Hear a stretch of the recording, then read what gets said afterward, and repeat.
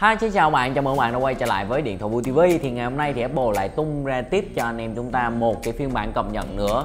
Đó chính là iOS 13.1 Developer Beta 1 Thực sự là không có ai mà cập nhật qua Apple hết. Và tuần trước thì chúng ta đã có cái phiên bản là iOS 13 Developer Beta 8 rồi. Và mới tuần này thì chưa có iOS 13 chính thức luôn thì đã ra cái phiên bản iOS 13.1 Developer Beta 1 rồi.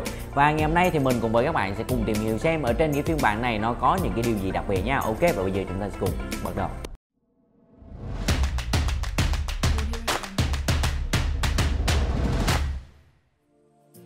Ok và cái phiên bản cập nhật lần này thì như mình có xem thì nó cũng chỉ có là khoảng 451 MB thôi. Một cái dung lượng cũng tương đối là ít và như mình đã nói thì tất cả những cái phiên bản uh, từ iOS 13 Developer Beta 1 trở lên thì bây giờ cái bản cập nhật của nó nó chỉ còn là dưới 500 m thôi không có quá nhiều như lúc trước nữa. Lúc trước thì chỉ toàn là một hai gb cho nên là bây giờ cái phiên bản này tương đối là nhẹ nhàng cho các anh em có thể cập nhật lên.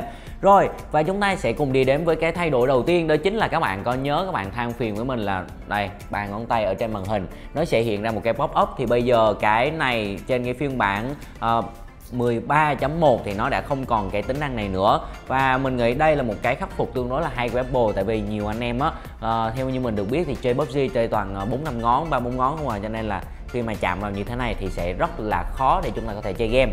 Và cái thay đổi thứ hai đó chính là ở trong phần cài đặt mình sẽ quay trở lại cho các bạn xem nha. Ở trong phần cài đặt thì nó sẽ có thêm một cái đó chính là vào cài đặt chung nè rồi là ở phần phông chữ lúc trước á, thì nó sẽ chỉ có là phông chữ không được cài đặt thôi. Còn bây giờ thì sẽ có thêm là có thể tải về được những cái phông chữ từ App Store. Và chúng ta có thể mở App Store để tìm những cái phông chữ mà các bạn thích và chúng ta tải về. Thì hiện tại cái tính năng này á mình chưa có thử quá nhiều. À, cho nên là mình chưa có cái video chi tiết hơn thì à, để mình nghiên cứu xem rồi mình sẽ cho các bạn một cái video thực sự nó chi tiết hơn nha. Rồi cái thay đổi tiếp theo đó chính là ở phần shortcut. Và lúc trước thì Apple đã bỏ cái tờ, cái phần là automation này rồi. Tuy nhiên thì ở cái phiên bản này thì lại thêm lại à, dành cho những cái thiết bị đầu tiên là iPhone iPad nè. Cái tiếp theo là những cái thiết bị để set up cái home cái à, nhà thông minh của Apple. Thì à, các bạn có hai cái mục để chúng ta tùy chọn như vậy rồi về phần hình nền thì các bạn cũng sẽ có một số những cái thay đổi nhỏ nhỏ về cái hình nền gọi là hình nền dynamic á. Đây mình sẽ vào phần hình nền cho các bạn xem. Hình nền mới và đây hình nền động các bạn có thể thấy chúng ta có thêm một vài những cái hình nền mới nữa. À, để các bạn có thể tùy chọn và chúng ta set up ở trong cái chiếc iPhone của bạn. Ok và sau khi đã tìm hiểu qua những cái điểm thay đổi mới thì bây giờ mình sẽ cùng các bạn xem thử cái điểm Grip Band 4 thì đối với điểm Great Band 4 ở trên cái phiên bản lần này thì điểm đơn nhân sẽ là 4.794 và đa nhân sẽ là 11.376 thì uh, về điểm đơn nhân thì nó sẽ thấp hơn những cái phiên bản tiền nhiệm ví dụ Developer Beta 8 hay Beta 7 còn cái đa nhân thì nó sẽ cao hơn một tí xíu.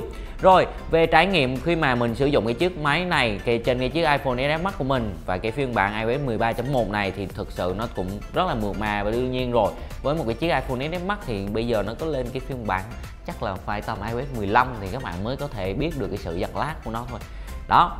Còn về pin thì à, mình rút à, pin của cái chiếc máy của mình ra vào khoảng là 8 giờ rưỡi sáng và tới thời điểm hiện tại.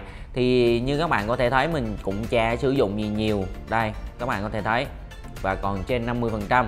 Còn 88 phần trăm cho những cái tác vụ bình thường như sáng giờ mình xem Safari rồi ảnh Messenger các kiểu thôi nhẹ nhàng. À, vẫn còn 88 phần trăm và đây là một cái mức pin mình nghĩ là nó sẽ đủ dùng cho các bạn dùng trong vòng một ngày. Rồi, ok, và như vậy là mình vừa chia sẻ tiếp cho anh em một cái phiên bản mới iOS 13.1 Developer Beta 1 và sắp tới thì chúng ta sẽ có cái phiên bản chính thức. Tuy nhiên thì trước khi mà cái phiên bản chính thức ra thì mình chưa biết được là Apple sẽ tung ra biết bao nhiêu bản developer beta nữa, thì có thì mình sẽ cứ làm video lên cho các bạn xem nha. Và nếu như các bạn cảm thấy video này hữu ích, đừng quên nhấn like, share và subscribe kênh điện thoại vui tv để ủng hộ mình nhé còn bây giờ thì xin chào và hẹn gặp lại.